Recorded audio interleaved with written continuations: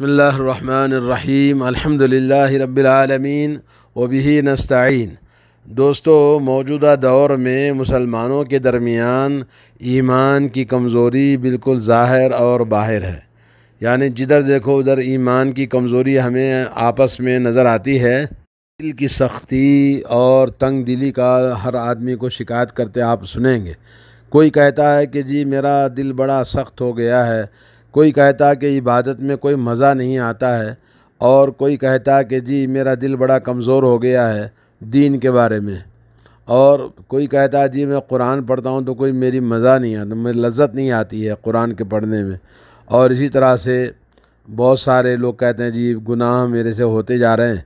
और बहुत सारे ये तमाम अमराज हैं, बीमारियाँ हैं जो इंसानों के अंदर आज मुसलमानों के दरमियान आम हैं।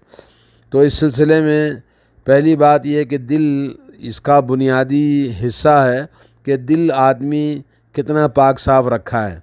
क्योंकि अल्लाह के नबी सल्लल्लाहु अलैहि वसल्लम ने फरमाया कि इन्नमा सुमी अलक़ल्ब मिन तकल्लुब ही दिल पलटता रहता है, दिल बदलता रहता है, दिल हमेशा एक दूसरे से फ़ौर उसके अंदर ख़यालात, वसवसे हमेशा बने रहते हैं, इसलिए उसको दिल कहा गया है। और अल्लाह के नबी ने फरमाया कि दिल की मिसाल उस पतिंगे की तरह है या उस रेशे की तरह है जो किसी दरख्त पर अटका हुआ है और हवा उसको वहाँ से ऊपर से नीचे नीचे से ऊपर उल्टा सीधा करती रहती है। एक और रिवायत में यह हदीस मुस्ंद अहमद के अंदर, सही जामे के अंदर आई है। दूसरी रिवायत है कि मसलकल्बी का मसल रीशा, कि वो एक पतिंगे की तरह और एक रीशा यानी एक हवा में उड़ने वाला एक पतंगे की तरह होता है। जैसे ज़मीन, खुली ज़मीन के अंदर पड़ा हो, हवा उसको उलट पलट करती रहती है। जी, यह हदीस इबन अबी आसिम ने रिवायत की है और यह हदीस सही है। अलबानी ने इसको सही करार दिया है और ये दिल हमेशा शिद्दत के साथ बदलता रहता है। तो इसलिए दिल के लिए नबी सलाम ने फरमाया लकल्ब इबन आदम असरा तकल्लुब मिनलक़द्र के ये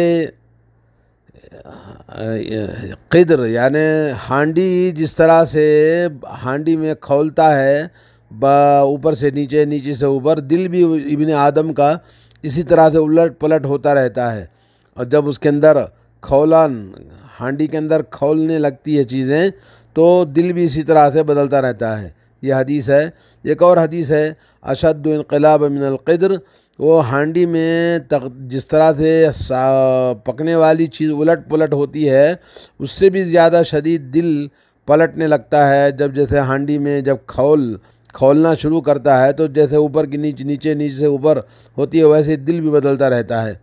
अल्लाह सुबहान ताली से हमेशा आप दुआ करते कि या मुकलबलक़लूब सबित क़लूबना अला और हज़रत अब्दुल्ला बिन अमर इबन आस रदी अल्लाह तु कहते हैं, रसूलुल्लाह सल्लल्लाहु अलैहि वसल्लम से मैंने फरमाते हुए सुना, आपने फरमाया कि इबन आदम के दिल तमाम के तमाम, बैन असबाइन मिन असाब रहमान रहमान की उंगलियों के बीच में दो उंगलियों के बीच में है।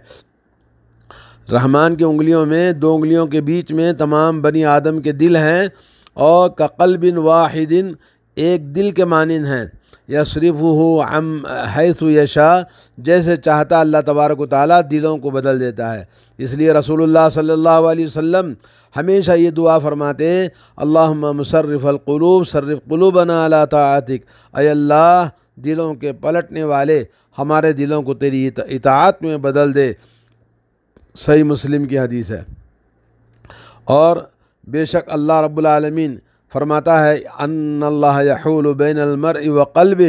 अल्लाह ताला हाइल हो जाता है इंसान और उसके दिल के बीच में, और इंसान रोज़ क़ियामत काम मियाब नहीं होगा, वो नजात नहीं पाएगा, इल्ला मन अतल्ला बल्ब सलीम। मगर जो कल्ब सलीम कल्ब सलीम से मुराद ईमान और तोहद और अक़ीदा सही लेकर आए, वो इंसान अमल साल वाला दिल लेकर आए और कल्ब सलीम लेकर आए तो वो कामयाब होगा।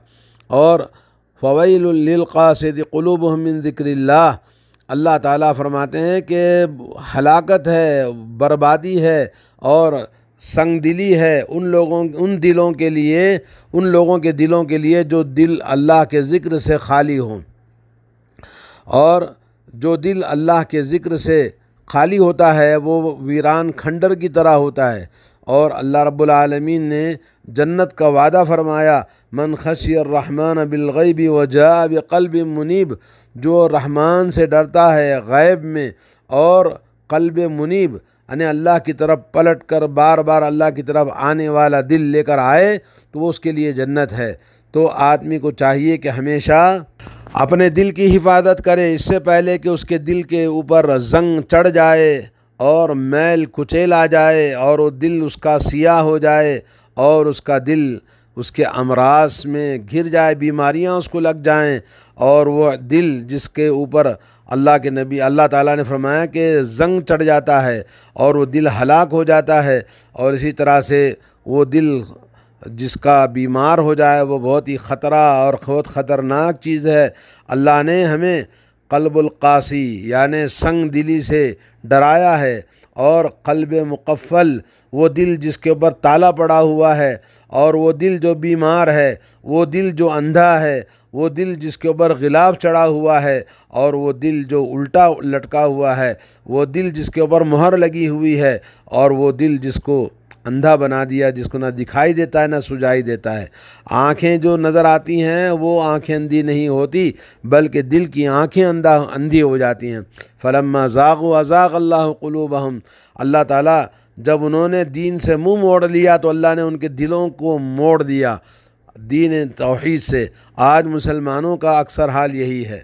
आइए ईमान की कमज़ोरी के कुछ मज़ाहिर। ईमान की कमज़ोरी कैसे हमें मालूम करनी चाहिए, उनके ज़रिए आपको बताऊँ। सबसे पहले नंबर एक, गुनाह। आदमी गुनाहों में अगर लगा हुआ है, नाफरमानियों में लगा हुआ है तो समझ लीजिए कि उसका ईमान कमज़ोर है। दूसरा ये कि दिल की सख्ती। दिल नरम नहीं होता पसचता नहीं है।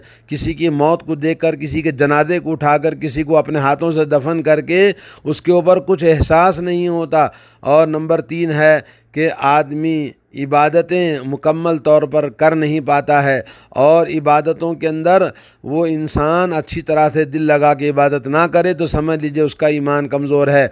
नंबर चार ये कि वो इबादतों में सुस्ती और काहली करता है। वहीदा काम सलात कामों को साला नमाज़ में जब खड़े होते हैं तो काहली और सुस्ती के साथ खड़े होते हैं। नंबर पाँच, दिल के अंदर तंगी। हमेशा दिल उसका तंग रहता है और उसका दिल में खुशादगी नहीं होती, खुशी नहीं रहती है। दीन के मामले में। नंबर छः उसका दिल कुरान करीम से मुतासर नहीं होता है। और जो दिल कुरान करीम, अफला तदब्बरून अलकुरान अला क़ुलूबिन अकफ़ालुहा अल्लाह ने कहा कि तुम्हारे दिलों पे ताले पड़े हुए हैं, तुम समझ के कुरान नहीं पढ़ते तो कुरान से दिल नफ़रत करता है, लेकिन गाने सुनेगा, कवालियाँ सुनेगा, सुबह उठते ही वो ये चीज़ें सुनेगा, लेकिन कुरान सुनने के लिए दिल नहीं लगता है। कुरान पढ़ने के लिए दिल नहीं लगता है तो समझ लीजिए उसका दिल गफलत में पड़ा हुआ है। नंबर सात है, गफलत में, कि आदमी गाफिल हो वला तुतीमन अकफलना कल्ब हुआ ज़िक्रीना व तबा हवा। अल्लाह ने फरमाया कि आप उस बात, आदमी की बात को ना मानिए जिसका दिल गफलत में पड़ा हुआ है और वो ख्वाहिशात का ग़ुलाम है। और नंबर आठ, वो इंसान अल्लाह के गज़ब से डरता नहीं है और अल्लाह के गज़ब का उसको एहसास नहीं है। नंबर नौ, वो हमेशा हब्बुज़हूर, उसके अंदर ये मोहब्बत होती है कि मैं अपने आप को लोगों के सामने बड़ा आदमी दिखाऊँ और अपने जो चीज़ नहीं है उससे ज़्यादा अपने आप को दिखाना लोगों में। अपने अंदर जो चीज़ नहीं है वो लोगों के सामने ये ज़ाहिर करना कि उसके पास सब कुछ है। नंबर दस, वो आदमी बकील होता है और लालची होता है और जिसका दिल कमज़ोर है, जिसका ईमान कमज़ोर है, वो इंसान हमेशा लालच और बकील और वो इंसान अल्लाह के रास्ते में ख़र्च करना उसके हाथ नहीं उठते हैं। और नंबर ग्यारह, वो ऐसी बात कहता है जो वो करता नहीं है। ईमान की कमज़ोरी की निशानी ये है। नंबर ग्यारह कि वो ऐसी बात कहता है जो ख़ुद करता नहीं है। नंबर बारह ये है ईमान की कमज़ोरी की निशानी कि वो ईमान मुसलमानों की कमज़ोरी से उसको खुशी होती है। मुसलमान कहीं नाकाम हो जाए तो वो अपने अंदर खुशी महसूस करता है। और ऐसा बेईमान, ये ईमान उसका बिल्कुल कमज़ोर है। और नंबर तेरह, इंसान के अंदर तकवा, अल्लाह का खौफ बिल्कुल कम होता है। नंबर चौदह, वो नेकी और भलाई के कामों को हकीर समझता है। जो नेकी के कामों में मेहनत कर रहे हैं, वल्लदीन जाहदूफ़ीन लनहदियन सुबुलना व इन अल्लाहमसिन जो लोग अल्लाह के रास्ते में मेहनत कर रहे हैं, अल्लाह उनके साथ में है और नेकोकारों के साथ हमेशा अल्लाह ताला होता है। मगर ऐसे नेकोकारों के साथ में वो हकारत के साथ देखता है तो ये ईमान की कमज़ोरी है। नंबर पंद्रह, वो मुसलमानों के मसाइल का अहतमाम नहीं करता, बल्कि वो मुसलमानों के चीज़ों से बिल्कुल अलग थलग अपनी ज़िंदगी। बोले, हमें क्या पड़ा है इस तरह से गुजारता है?